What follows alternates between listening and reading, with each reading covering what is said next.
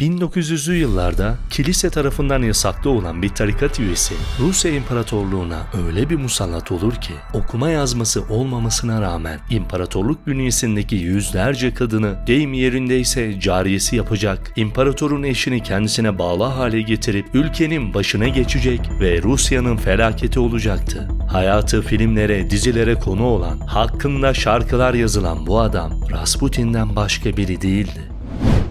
Çiftçi bir ailenin oğlu olan Grigori Rasputin, 21 Ocak 1869 tarihinde Sibirya'da Ural Dağları'nın yakınındaki Pokrovskoye köyünde dünyaya gelir. Rasputin çocuk yaşta evlendirilir. Henüz 22 yaşında 3 çocuk babası olur ve ailenin geçimini sağlayabilmek için günde 17 saatten fazla çalışmak zorunda kalır. Aslında Rasputin sorumluluk almak istemeyen özgür ruhlu biridir ve içinde bulunduğu hayattan pek memnun değildir. Rasputin'in asıl hikayesi ise eşini ve üç çocuğunu terk etmeye karar vermesiyle başlar. Uzun bir müddet oldukça zorlu ve yalnız bir hayat sürer. Verdiği bu karardan pişman değildir. Aksine bu zorlu yolculuk ona yaşadığını hissettirmiş ve farklı dünyaların kapısını açmıştır. Köyünden 2500 kilometre uzakta kalan Rusya'nın St. Petersburg şehrine kadar gelir. Burada çok sayıda manastırı ziyaret eder. Din adamlarıyla görüşür. Rus Ortodoksluğuna dair türlü sorular sorar. Manastırda okuma yazmayı öğrenir ve İncil'i tabiri caizse hatmeder. Başlarda manastırda aldığı dini eğitimi yadırgamaz. Fakat buralarda kontrol ve disiplin çok fazladır.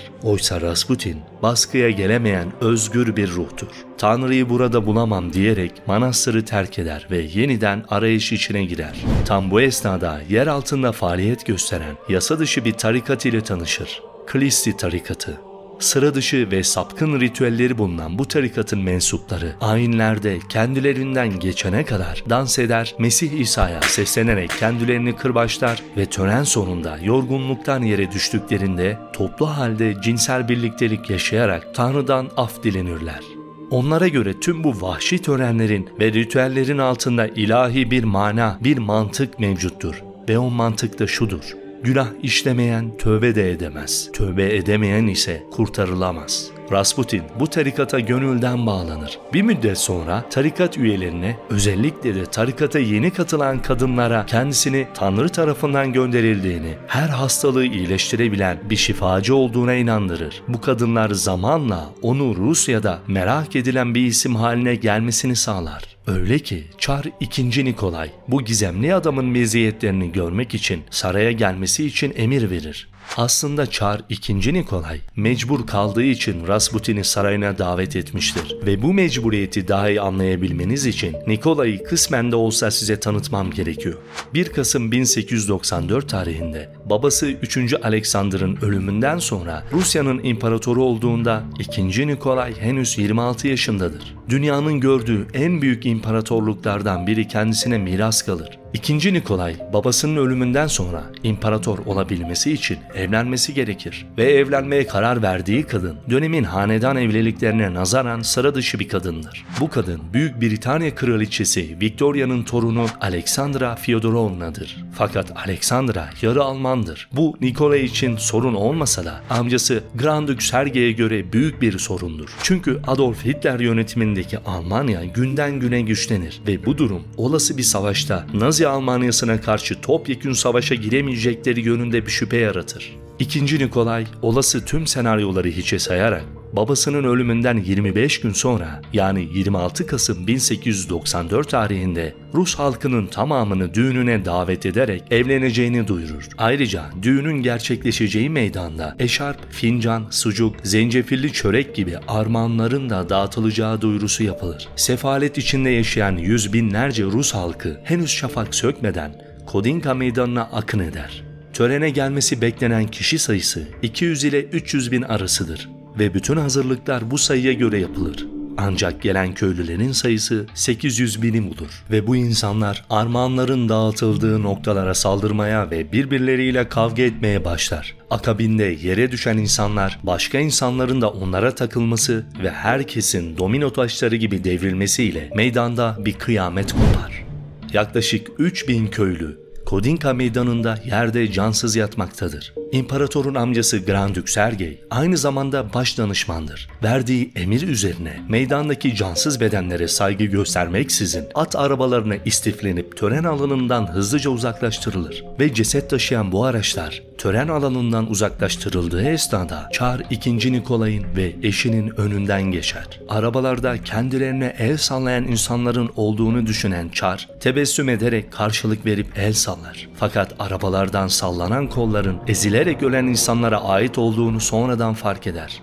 Bu an tarihin en acılı anlarından biridir. Bu felaketin ardından Nikolay tüm çağdaş siyasetçiler gibi hastanelere gidip halkını ziyaret edecek ve başsağlığı dileyecektir. Fakat amcası Sergey'in yanlış yönlendirmesiyle Fransız Büyükelçisi Marquis de Mendebello'nun partisine katılmayı seçer.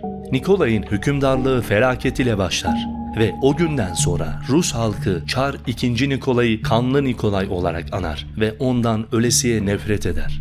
Rasputin'in saraya getirilme emri ise bütün bu yaşanan olaylardan 10 yıl sonra gerçekleşir. Kanlı Nikolay'ın dört kız çocuğu vardır. Ancak tahtın varisi yalnızca bir erkek olabilir. O dönemlerde iyi bir imparatordan güçlü bir erkek varis beklenmektedir. İmparatorun asli vazifesi budur. İkinci vazifesi ise toprak fethetmektir. Bunlardan herhangi birini başaramayan bir imparatorun ömrü uzun olması beklenemezdi. Ve nihayetinde bekledikleri erkek varis dünyaya gelir. Çar II. Nikolay ve eşi Aleksandra 10 yıl sonra erkek varise kavuşmuşlardır. Fakat sevinçleri sadece birkaç gün sürer. Çünkü tahtın varisi dünyaya ölümcül bir hastalıkta gelir. Kanamaya devam eden göbek deliğinden hemofili hastası olduğu anlaşılır.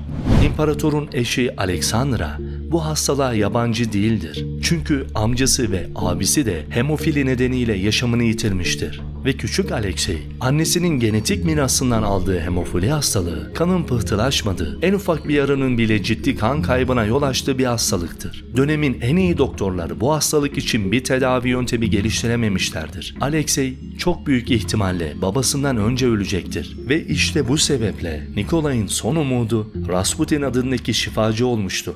Sahip olduğu bağlantılar ve saraya kendisinden önce gelen şöhreti sayesinde Rasputin kısa sürede aristokrat çevrelerde tanınır. Rasputin akıllı ve ne yapacağını önceden hesaplayan biridir. İlk hamlesi halkın tanıdığı ve sevdiği iki kişiyle tanışmak olur. Piskopos Hermongon ve Rahip İlyador. İmparatorun amcası Sergey Rasputin adındaki bu köylünün bir düzenbaz olduğunu, kendilerine zarar vereceğini, saraya davet edilmemesi gerektiğini imparatora söyler. Çar 2. Nikolay kararsız kalır. Fakat aynı gün oğlu Alexey yere düşer ve dizinden yaralanır. Doktorların bütün müdahalesine rağmen kanaması bir türlü durmaz. Son çare olarak Rasputin odaya girer iyileştirme gücünü kullanabilmek için doktorların dışarı çıkmasını ister. Gece boyunca küçük Alexey'i tedavi eder. Ertesi sabah küçük Alexey iyileşme yönünde belirtiler göstermeye başlar. Rasputin bu müdahaleyle Çar II. Nikolay'ın güvenini tamamen kazanır. Çar Nikolay sarayın en güzel odasını Rasputin'e verir ve üstelik Alexey'in odasını dilediği zaman girebileceğini söyler. Ancak Rasputin Klistiler tarikatından öğrendiği sapkın ritüelleri sarayda yapamayacağını anlayınca Çar Nikolay'ın iznini alarak yeni bir eve taşınmak ister. Her gün evinin önünde uzun kuyruklar oluşur. Ziyaretçilerin büyük bir bölümü saraya yakın olan kadınlardır. Hitabeti, sadeliği ve derin bakışları hemen herkesin etkisi altına girmesini sağlıyordu. Bir kadına yaklaşırken sarf ettiğin giriş cümlesi genelde şöyledir. Günah işlemek normal bir şey. Bizi Tanrı'ya yaklaştırır. Günah işlemezsen nasıl affedilebilirsin? St. Petersburg'a ilk geldiğinde kendisini karşılayan Piskopos Hermogen ve rahip İlyador bu durumun farkına varınca onu şeytani güçler kullanmakla ve Hristiyanlığa karşı gelmekte suçlar. Bunun üzerine Rasputin, Çariçe Aleksandra'ya giderek Piskopos Hermogen ve rahip İlyador'un kendisine suikast düzenleyeceklerini ve bu şekilde yerime geçme planları yaptıklarını söyler. Çariçe Alexandra Rasputin'e o kadar çok güvenir ki tereddüt dahi etmeden Piskopos Hermongen ve Rahip İlyador'u şehirden sürgün eder. Aynı gün Frans Ferdinand Saraybosna'da suikaste uğrar ve bu suikast 1. Dünya Savaşı'nın başlamasına neden olur. Çar II. Nikolay genel seferberlik ilan ederek cephede ordunun başına geçmek için yola koyulur. Çar'ın amcası Grand Dük Sergey'in arabasına atılan bomba sonucu hayatını kaybedince sarayın kontrolü artık tamamen Çariçe Aleksandra'ya geçmiştir. Alexandra sarayda artık yalnız kalmıştır ve bu savaş ortamında çocuklarının ve kendisinin güvenliğini tamamen Rasputin'e bırakır. Yani Rasputin deyim yerindeyse artık vekaleten çar olur. Birinci Dünya Savaşı'nın gidişatı da Rusya için felaketin habercisi olur. Nazi Almanyası acımasızca saldırır. Bunun sonucunda 1 milyondan fazla Rus askeri savaş alanında can verir. Tüm bunlar yaşanırken Çariçe Alexandra saraydan çıkıp halkına moral vermesi gerekirken saraydan dışarı adımını dahi atmaz. Fanatik bir siyasetçi olan Periskevich halkı meydana toplayarak Rasputin'in karanlık bir güç olduğunu, Çariçe'yi etkisi altına alarak Rusya'yı uçurma sürüklediğini iddia eder. Halkın tamamı yarı Alman olan Çariçe'nin yatağını Rasputin ile paylaştığını ve ikisinin vatan haini olduğuna karar verir. Çar 2. Nikolay'ın kuzeni Grand Duke Dimitri Pavlovich Rasputin'i öldürmeye karar verir. Fakat onu bir şekilde sarayın dışına çıkarması gerekir. Bir akşam Rasputin'i kendi köşküne yemeğe davet eder. Rasputin bu genç adamın davetini geri çevirmez. Pavlovich onu aşağı kattaki yemek odasına götürür ve içinde siyanür bulunan kek ve şarap ikram eder. Rasputin şarabı içip kekleri yemesinin ardından hala hayattadır.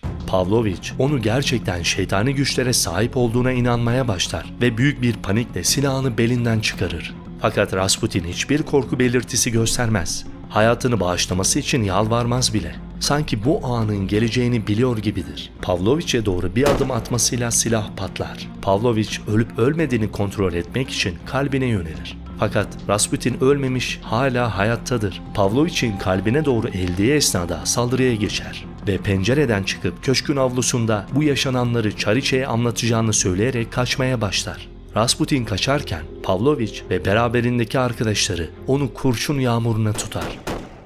Rasputin ölmeden önce Çariçe Aleksandra'ya tarihe geçecek iki mektup yazmıştır. Mektupta şunlar yazmaktadır. Yakında çok acı bir şekilde öleceğim. Tanrı beni yüce ve sevgili Rusya'mız uğruna ölmem için gönderdi. Tıpkı Hazreti İsa'nın çarmıha gerilişi gibi. Başka bir mektupta ise çarpıcı bir şekilde şunlar yazmaktadır. Bir Ocak'tan önce öldürüleceğim ve benim ölümümden eğer çarın bir parmağı varsa Çar'ın çocuklarından hiçbiri iki seneden fazla yaşayamayacak ve Rus halkı Çar'ın ailesini öldürecek. Tuhaf olan şey Rasputin gibi bir düzenbazın ölümünün Çar'ın akrabaları tarafından olacağını bilmesiydi. Ve asıl inanılması güç olan şey ise öldükten sonra iki yıl içinde mektupta yazdığı gibi Çar 2. Nikolay eşi ve çocuklarıyla birlikte bir odada kendi halkı tarafından kurşuna dizilerek idam edilmeleridir. Bu tarz videoların devamı için sizlerden ricam kanala abone olmayı ve videoyu beğenmeyi unutmayın. Evrendeki güzel şeylerin sizi bulması dileğiyle bir sonraki videoya dek hoşçakalın.